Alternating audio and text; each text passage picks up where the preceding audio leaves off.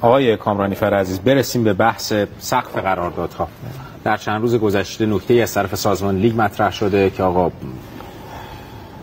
بیش از 25 درصد بازیکنان عادی غیر ملی پوش نمی‌تونن نسبت به قرارداد فصل گذشتهشون درخواست داشته باشن. کاملا یک سقف هست. اما این سقف در گذشته نتیجه خوبی برای فوتبال ما نداشت. پول های زیرمیزی رو به وجود آورد. حداقل می‌تونم بگم خیلی بالاتر برد این پول های زیرمیزی رو. قراردادها شفاف نشد. ولی الان با توجه به روی کردی که ما نسبت به استقلال پرسپولیس داریم و نیاز به شفاف سازی به نظر می‌رسه این کاملا این تصمیم کاملا در تضاد با شفاف سازیه یعنی ما یه سقف قرارداد مثلا 8 میلیاردی 12 میلیاردی می‌ذاریم. بعد یهو شروع می‌کنن از این طرف و از اون طرف پولای داده میشه. بعد اون پولا اصلا به حساب کی جای ثبت نمیشه. کی می‌تونه پیشو بگیره و خلاصه اینکه یه سیستم ناهنجار مالی در فوتبال وجود میاد. نظر شما چیه؟ و در ادامه مجوز حرفه‌ای و خارج شدن از افسی و تبعاتش برای فوتبال ایران. یعنی سقف قرارداد باعث و... نه شفاف سازی رو من میگم. شفاف سازی مالی رو میگم. یکی از موارد مهمی که در بحث مجوز حرفه‌ای باید باشگاه در نظر داشته باشن بحث همین شفاف سازی قراردادها مسائل مالیشون هستش. که خب به حال هر باشگاهی من مطمئنم یه اتفاق نمیفته ولی اگر موضوعی که شما میفرمایید به حال پیش بره تو بحث مجوز حرفی هم به مشکل خواهند خورد و من فقط در مورد بحث قراردادها می‌تونم بگم که به حال هیئت رئیسه سازمان لیگ بحث قراردادها رو بررسی کردن و بعد از اونم کمیته تدوین مقررات فدراسیون فوتبال خب تایید کردن و بعد, بعد از اون ابلاغ شده. من می‌تونم در مورد قرارداد فقط اینو بگم که خب این مصوبه بود که هیئت رئیسه سازمان لیگ انجام داد. آقای کامرانی فرعزیز یه مصاحبه رو با همین برنامه آقای محمد مومنی انجام دادن که حالا بعدم کمیته اخلاق خواستنشون و بحث سهمیه جام جهانی رو مطرح کردن. بعد از اون شما یه مصاحبه انجام دادید یه تنها کسی که یه جورایی تایید کرد شما بودید. در بعد سوم خبرهایی به گوش رسید که آقا این سهمیه تو تیم ملی نیست. حالا شما در موردش بیشتر توضیح بدید. اینه که میگن آقا پول سهمیه جام جهانی رو میدیم به بازیکن. چنین چیزی رو شنیدید؟ یکی از آپشن های قرار بله دو, دو حالا اینکه تو آپشن بعضی از مدیر عاملان در مورد بازیکنانی که تیم ملی میرن من فکر می‌کنم نقطه نظرشون رو این بوده. به هر حال بازیکنانی که در تیم ملی هستن فیفا دو دوره است که به بازی به باشگاه ها هم هزینه هایی رو میده. بله.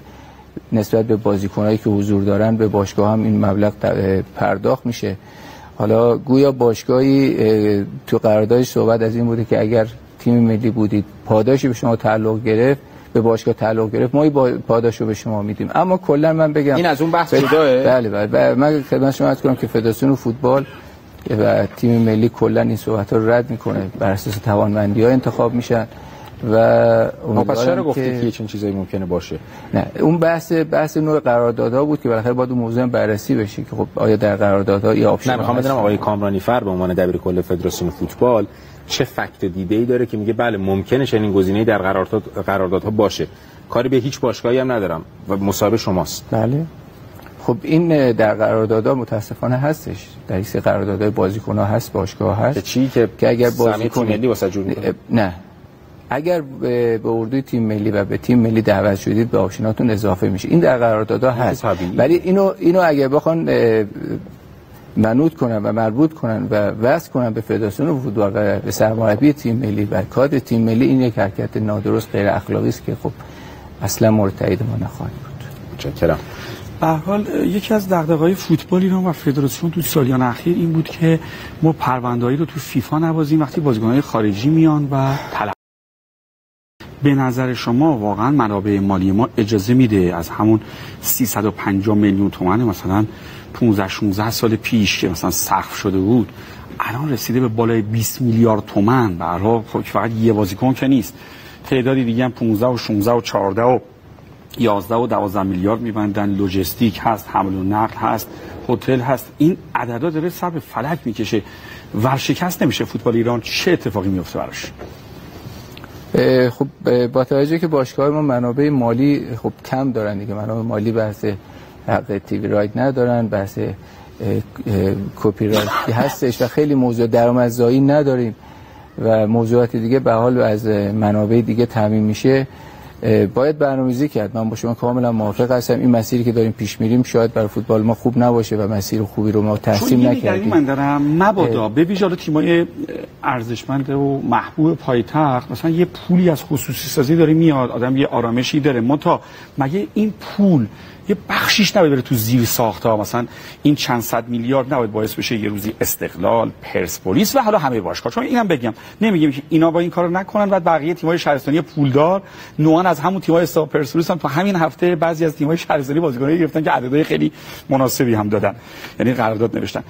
اینا نباید مثلا برای آینده فوتبال این شهر یعنی نسل بعدی ماها نباید مثلا بگه آقای ورزشگاه اضافه شد. مثلا در دوران مدیریت فلانی در پرسپولیس در استقلال در سپاهان در فولاد در مصر رفسنجان و در گرگوهر شش تیمی که به هر حال نوعا ارقام مناسب تری رو. حالا مثلا رفسنجان یه خورده کمتر پنج تا دیگه مسابقه رو هم به نوعی دارن. چه در تمدیداشون چه در این.